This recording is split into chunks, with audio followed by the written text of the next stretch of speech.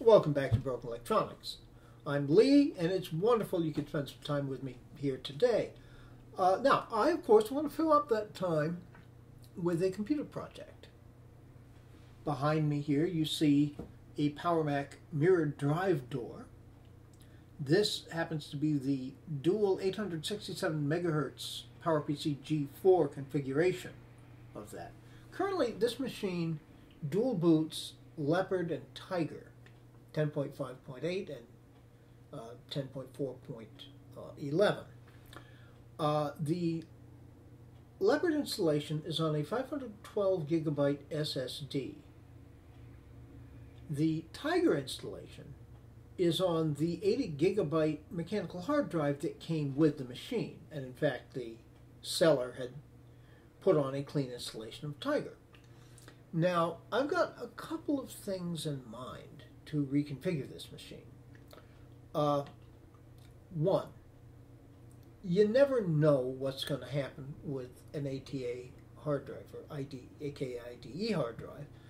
Uh, these are all old. You don't know how how many cycles they've been through, and they could give up at any time. It's still working now, so there you go. So my intention is to put in a 128 gigabyte SSD install Tiger and macOS 9 onto this SSD. Now, I could go to a bigger SSD, to be sure. The mirrored drive door is the first of the Power Macs that no longer had the 128 gigabyte drive limit. But for putting on Tiger and putting on uh, Mac OS 9, 128 gigabytes is going to be more than sufficient particularly with what's in there already. Now, th there's one other thing. Uh, I currently have that SSD with Leopard on it connected into the drive bay that is underneath the optical drives. We'll open it up and have a look in a minute.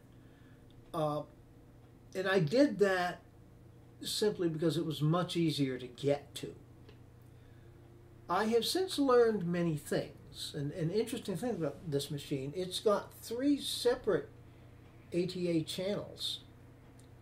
One is ATA33 that connects the optical drive and the potential for a second drive underneath the optical drive. The place where the Leopard SSD is currently located is underneath the optical drives. That's ATA66 which is exactly what the uh, the, the, sawtooth and the uh, gigabit Ethernet, etc., all ran on ATA66. However, that third connection for ATA is ATA 100. So what I intend to do is to connect this SSD to the remaining ATA 100 spot and might as well just leave the mechanical hard drive in there with its 8 gigabytes. It's not hurting anything. Uh, all right. However, then I will have Tiger and OS 9 running at a faster speed than Leopard. That makes no sense. Enter. Yet another PCI SATA card. With this installed, I can run at SATA speeds, SATA 1 admittedly, but it's a lot faster than ATA. I have the cables that will connect it, and I am simply going to take the uh, SSD that has Leopard on it, reconnect it so that we have a faster configuration. And we should end up with some substantial improvements to this machine. Well, I hope I'm going to find this fun to do and interesting, and I hope you're going to find it interesting too. And if you do, please stay tuned. All right, here we are. Open the machine up. This opens up really easily.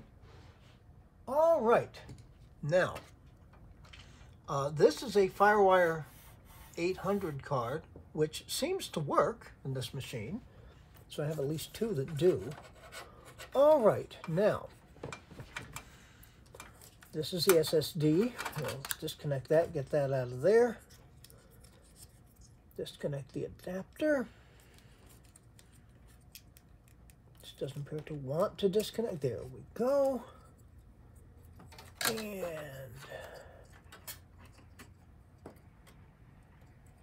I actually got this plugged into the adapter.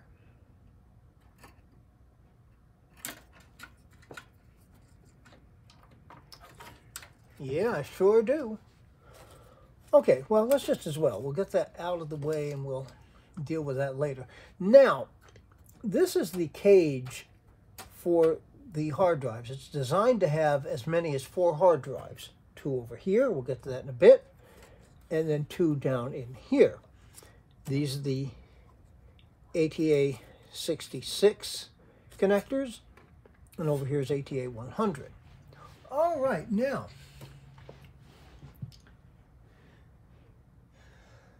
there's a screw holding this in place which apparently someone in the past has taken out because it isn't there anymore. Uh, you're probably not going to see. There's a little tab here.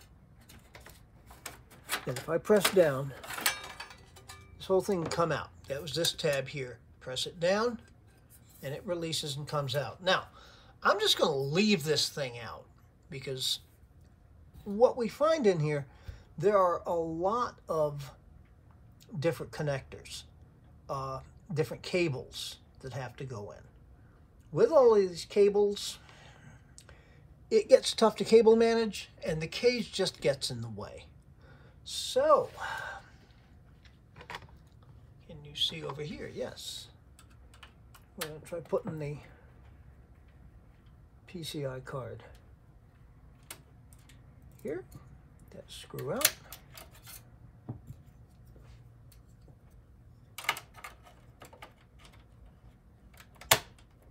In that goes. That was easy.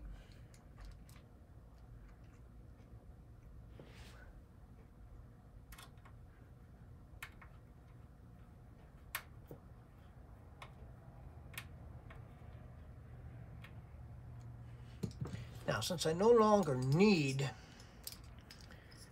the floppy connector, I'll just put that aside. All right. Got that plugged in.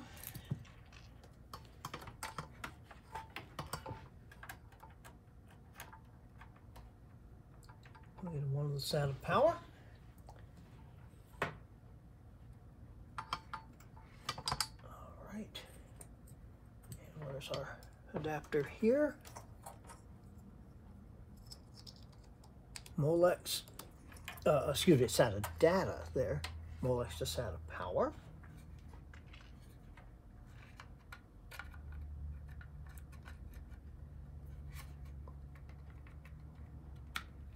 There's that.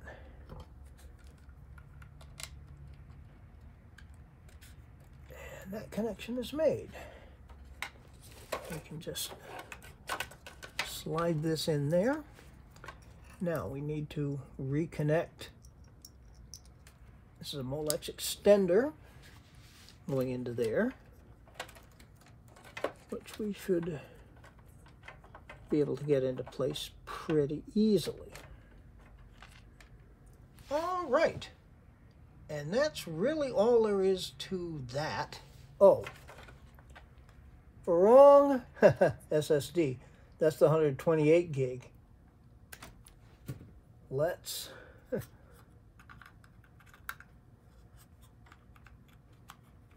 put the Leopard drive there because that's the one we want to be fastest. There, that makes way more sense. Yeah, and that doesn't want to tuck out of the way very well. So we have to be a little careful closing this. You just push it up, it'll go in there. All right. Now, we move you over to here so you can see the rest of this process. This is the second IDE connector on the ID100. The first is already plugged into the spinning hard drive, which we're going to leave into place. Now, I'm going to simply leave this one in place. I am going to put an extender, extender, splitter extender. Uh, Come on, get on there. It is tight. It's, this is why I made the big mistake of connecting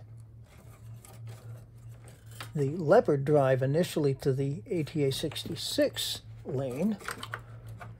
It was just so much easier to get at and work with. There we go. Okay, that's in all the way. Now,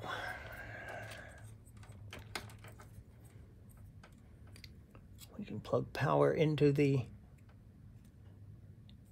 IDE to SATA adapter.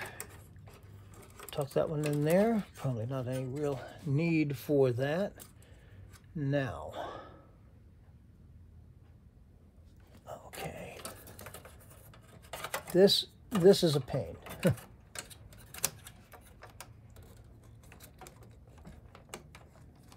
Trying to get at it here. That plug in?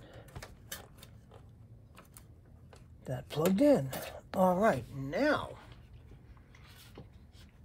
gotta get the drive in there.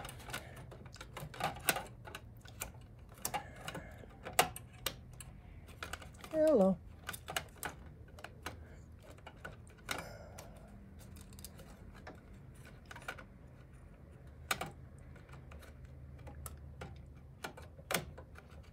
And that made it. And it can just sit right there. It'll be held pretty securely. The cage is going to keep that in. Uh, over here, we'll simply not have the cage, and that should make it a little easier. Okay. Once again, just want to double check. Yes, I did connect the FireWire 800 card, and I do have power connected for that. All right, we should be good. Okay. There we go. Well, now we're going to have to connect the thing up, boot it up, and make sure everything's working. Please, as always, stay tuned. All right, here we are connected. Let's power it up. Solid chime.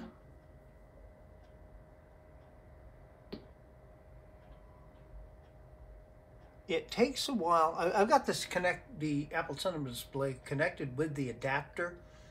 Actually, this would drive it directly, but since the display is plugged into the adapter, no reason not to. Okay, light just went on. It will need to find a bootable installation. It has found such. Booting to OS 10, which are the only options right now.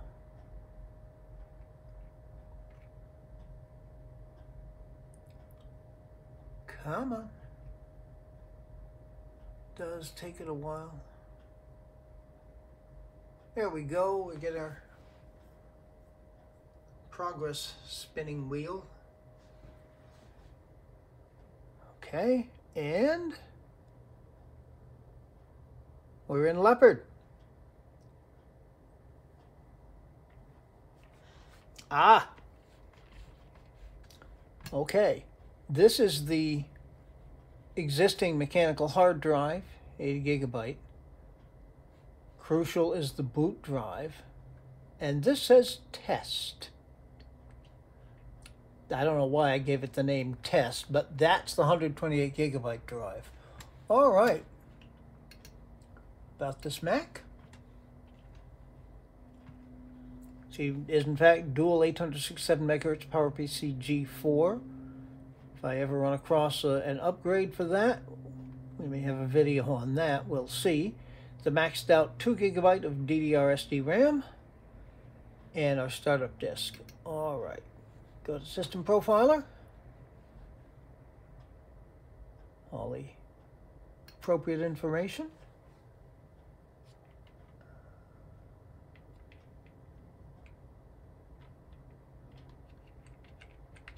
Okay, we can expand that for you there.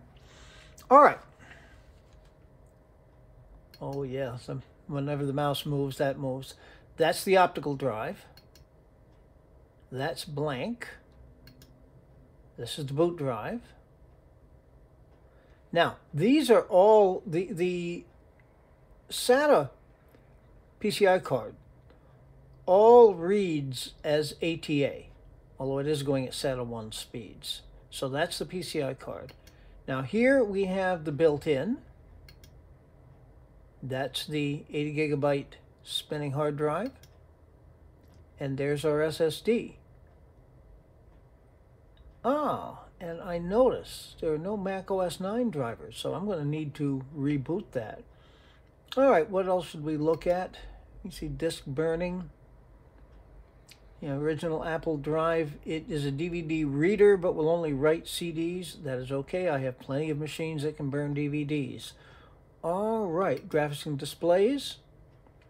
What's in here right now is an ATI Radeon 9000 Pro with 64 megabytes of video RAM. That's actually a very decent card for this machine. Uh, if I ever find another 128 megabyte card, we'll see if that yeah, comes up. Uh, on fine. Well, no, let's look at the PCI cards first. Here we see our SATA. And, you know, down here, driver installed. There's the FireWire card gives us no information about it. That's on slot 5. That is the FireWire 800 card. Uh, and the USB controllers. Uh, it does have USB 2 on it. We can take a further look. Looking in FireWire. That's the card 800. Then here's the built-in uh, 400. The iSight uh, camera is in fact built into that. I don't know if I'm going to use it. All right, what else should we look at? Uh, USB, maybe. All right, USB bus. Okay, yes, these these are from the expansion slot. This is the built-in USB 1.1 uh, plugged into studio display. A USB 2 device, that's actually the speaker and then the hub in Apple Pro keyboard. The Apple Pro keyboard is plugged in, of course, as is the mouse. All right, now the the one thing I wasn't really expecting was to see no Mac OS 9 drivers. So we can uh, back out to normal view. Uh, so yeah, I wasn't really expecting that. Uh, so I think what I'm what I'm going to have to do with this will be to reformat that drive because that is the drive where I intend to have OS 9. And then install, I think I'll do a clean install of Tiger on that drive. End up wiping the spinning hard drive uh, clean and it can just be extra storage. Uh, and there's some, some tricks to installing macOS 9 on a PowerMac G4 MDD. Uh, might be interested to take a look at that. So I think I'm probably going to make all of that into a separate video. Uh, just leave this here as it is. It's working. It's got all its drives. Uh, we should be in good shape with this machine. And uh, I've got a little series of videos planned in which this will be featured. Put out system profiler. All right, so I think we are in fact pretty much done here. That being the case, be good to other people. Other people really deserve it and they need it, particularly in these times. Be good to yourselves. If you're not good to yourself, you're not going to enjoy this better world that we're in the process of making. It is not a better world yet. So please take very, very good and careful care. So yeah, we've got one more video coming up on this MDD. I've got a series with uh, several G4s that's that's going to pop up, uh, and some other goodness coming up as well. So until all of those things are available for you to see, this has been Broken Electronics.